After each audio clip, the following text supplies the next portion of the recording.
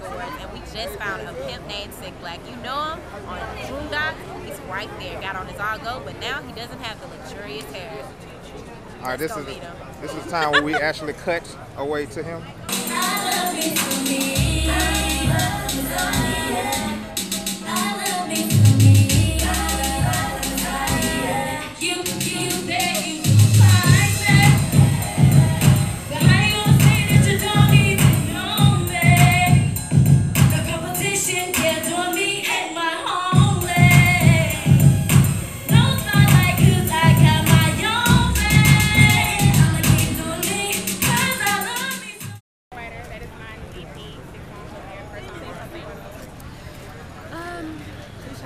Six